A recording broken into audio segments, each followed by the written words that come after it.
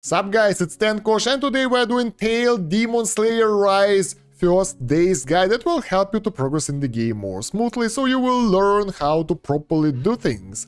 Let's go. So first things first, you might want to download the LD Player emulator on your PC and play it on the PC. This is an idle game and progression when it's open is better than your offline and the best way to do that is using that emulator, I use it all the time, and then you can sync your progress using Facebook, Google, whatever account, and play it on your phone and on the PC at the same time, which is pretty convenient. My first tip right here. Now let's talk about actual gameplay. First things first, you really would like to follow those quests here because they are really important, they unlock things for you up to some point, and after that, in order to unlock additional game modes, you will have to go yeah, as you can see here, we need to clear guide mission for this, and after that you need to clear actual missions. So try to do those, they guide you through most of the gameplay and they will teach you how to do things. Since we need to do Awakening right now, that's a simple process. First you need to upgrade everything, then you need to fight some sort of boss. This is a test, and it's a complex one and pretty powerful enemy right here. So um, you might need to level up yourself a bit before attempting it and as you can see the health of that boss is pretty high so you might not be able to overcome it quite fast. If you have those issues like I do over here, when you will follow the guides, the guidelines that I have over here right now, that will allow you to go through it easier. So okay, how to get stronger? First of all, you need to summon boss and fight the boss and progress as fast and as far as possible. That will allow you to get more loot. More loot means that you can upgrade your character easier. On the growth, you got the training here. Your top priority will be improving your attack because attack is your basic stat that will allow you to do more damage to the enemy. As you can see right now in the boss fight, I'm actually losing it right now.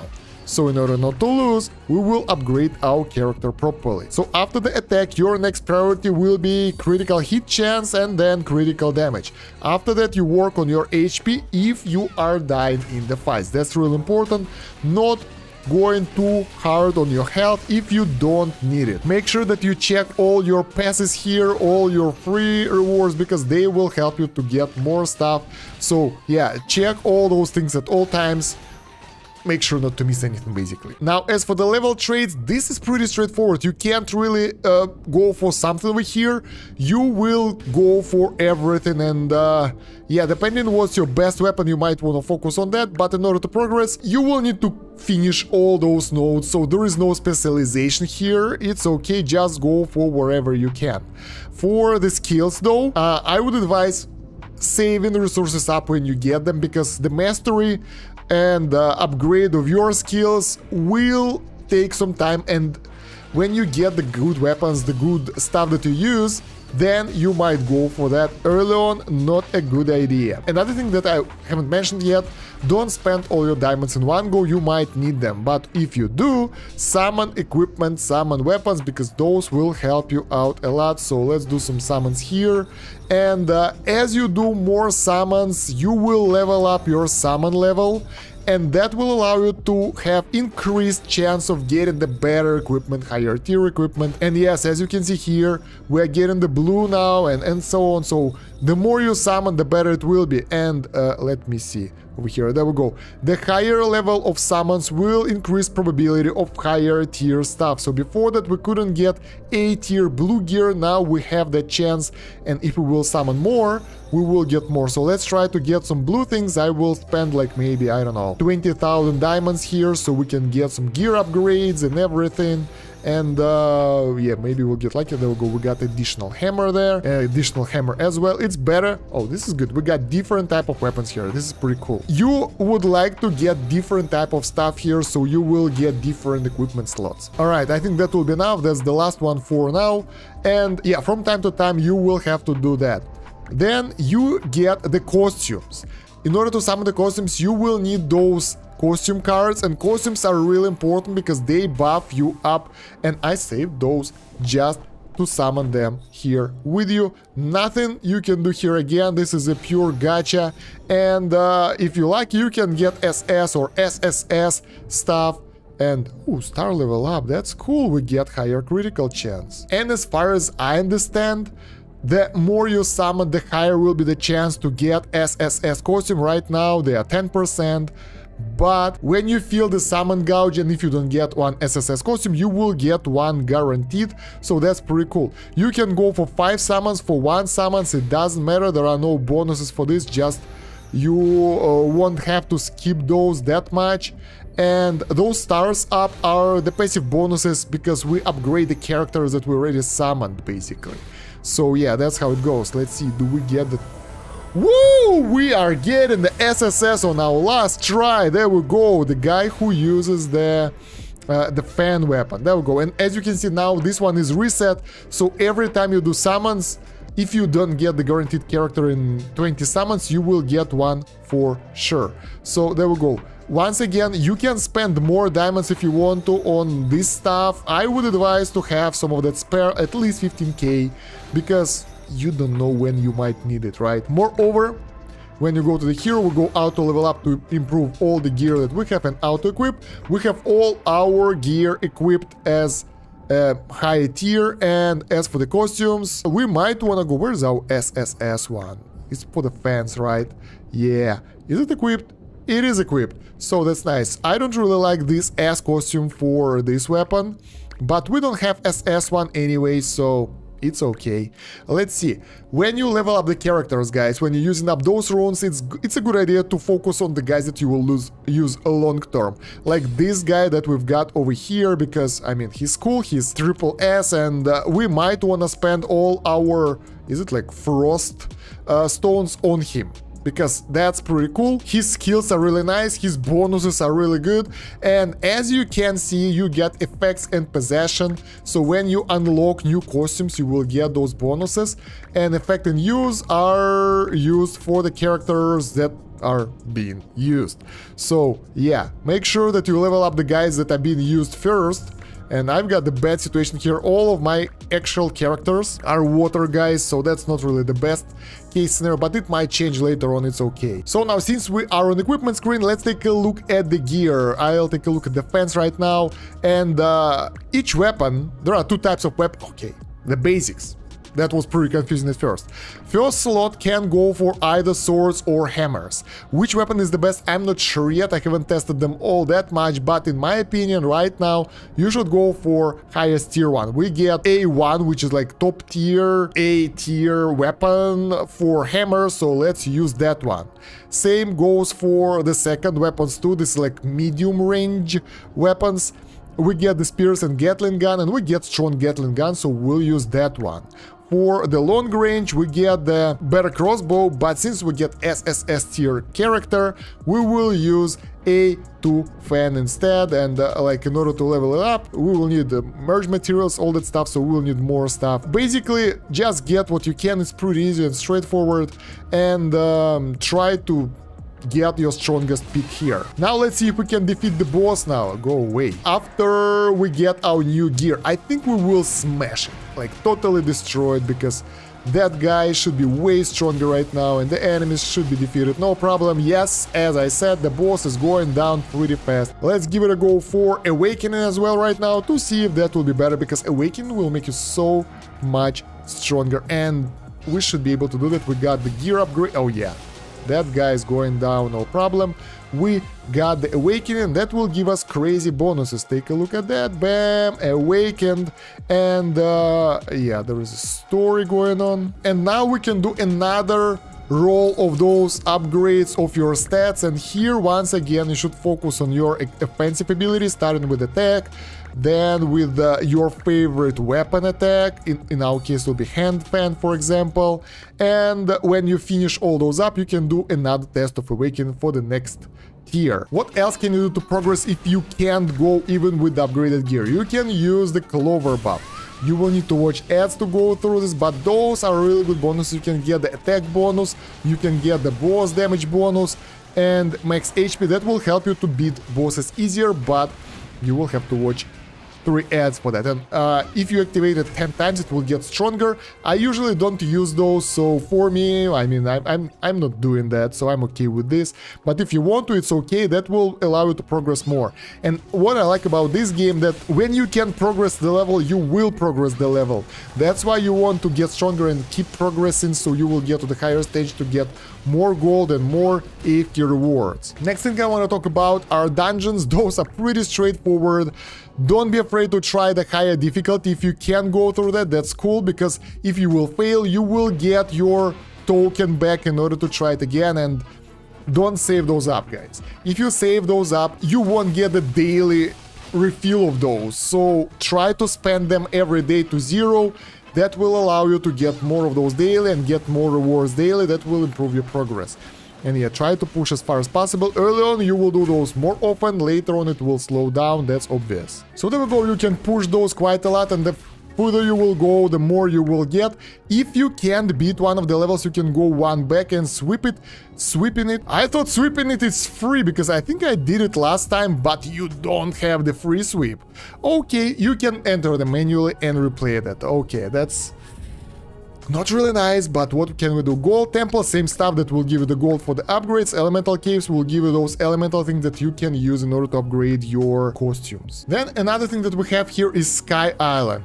You get the Guardians here, those are your basically ultimate spells.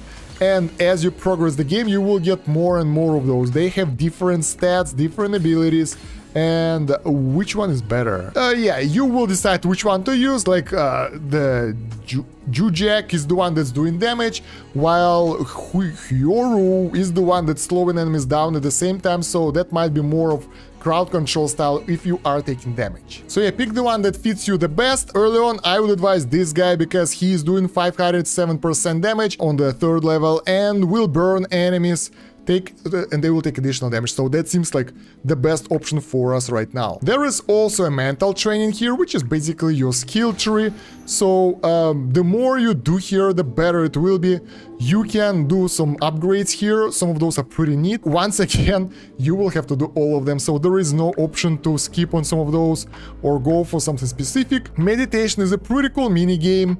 So uh, what I did here, I kinda wanted to collect them all. So let's see what will happen. Uh, can I get this one? Yeah, there we go. We get a huge match here. So the more of those you will match, the better it will be. You will get additional bonuses and uh, you get limited amount of moves here for meditation. That's the main thing. But try to blow up special nodes like this one over here. Oh my god. Uh, but don't do that by clicking on them. Use the combinations and kinda connect them together. So let's do this. Bam, there we go. And the more of those you will match, the more of those rewards you will get that you will use in order to build your skills over here. So yeah, you will have to do it quite a lot. Once again, I think the best strategy here will be trying to save one color till the end, like I did over here, so you can get a pretty crazy combinations here. Moreover, if you get some gray nodes, like the one at the bottom, they can be used to connect different colors together, so they can be used anywhere.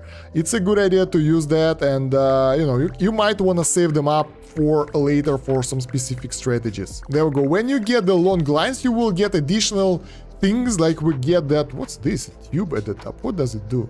Paint. Pick a foxfire to change its color to gray. So let's test something. I want to see if that will work. So let's say I want to use those things. No. Okay. So Ah, uh, that was bad. You can't switch colors using the gray move, right? You can only connect through it and you can't really go back once you start pulling your finger, that sucks. Probably there is a way, but I haven't found one, so when you are pulling things around, if you release your finger, it will kinda do weird stuff. But yeah, you can have a lot of those stones here that you can use later on for the upgrades. Once again, I would advise focusing on meditation moves first, because that will allow you to progress there faster, save up more moves in order to do more stuff. Later on, go for offensive stats. Why are we loading? Uh, go for offensive stat that will give you attack, skill damage and that kind of stuff. So offensive moves are the best. HP is secondary, at least right now, early game. Other game areas require you to clear stages quite far. I'm at stage 15-7. Those require 25 something, so we are not there yet. So okay, what else do we have here? We have the album. Album is important because it will give you passive bonuses multipliers. In order to get those, you need to save up and kinda get different type of items and uh, they will give you additional bonuses and those are pretty powerful as you can see. We are multiplying our damage quite a lot over here and we're getting stronger and stronger and our power is skyrocketing right now. Later on you will get the same for the fairies and necklaces but basically that's it. So yeah. About the equipment level is pretty straightforward. It's different from other games First, you merge equipments together in order to level it up, so you don't spend some enchantment tokens to upgrade your gear. But uh, once uh, it reaches maximum level, you will merge it and it will go to the next tier. So basically C3 will become C2 and C1 and so on, but you need a lot of that stuff in order to be merged. Once again, that's additional reason why you would like to summon equipment here and spend diamonds on that, because the more equipment you get, the more of those multipliers you will get as well over time, and that will make you stronger. Alright, I've spent all my resources. Oh my god. So let's level everything up, that will be nice, and auto-equip, there we go, we get a different type of weapon now. Does this guy use... Yeah, this guy use fire, so that's pretty neat. But yeah, now we can go to album again and upgrade more stuff. It's 13C right now. We got two times stronger. And now after this summon, we got from 13C to 14.5C, which is a lot. So we will be able to plow through more content, get stronger and destroy more enemies. I want to say a few words about the quests as well. Those are pretty straightforward. You do them, they give you diamonds and you get the repeatable quests, those should be claimed in order to get extra rewards, so... Oh, you can get a cumulative count of those, that's nice. So, yeah, just claim them and there are daily quests. That will... You have to do in order to get more diamonds per day, basically, so it's a good idea to finish them all. Other than that, the game have some event happening from time to time. Right now, we get this Find the Ducky in the Ice event, and uh, you get a daily quest here that will give you hammers and you will use those hammers to break the ice and if you are lucky you will get the ducky so uh, yeah. Be really careful where you click it because yeah if you click it like I do here it will be really inefficient because you would like to divide this area with the hexes so you won't have the stuff that I have here. Now this is really inefficient to do that. So I'd rather reset right now. Later on you will be able to exchange the duckies either for your rubber quirky costume or whatever you will have at your event or additional stuff which is pretty cool as well. SS tier gear really nice. My tip for all the events usually you would like to go for the costume because those are one-time things but the gear you can get it later as well so don't worry worry about that. Ah, here it is, I found the boss, I was looking where he is.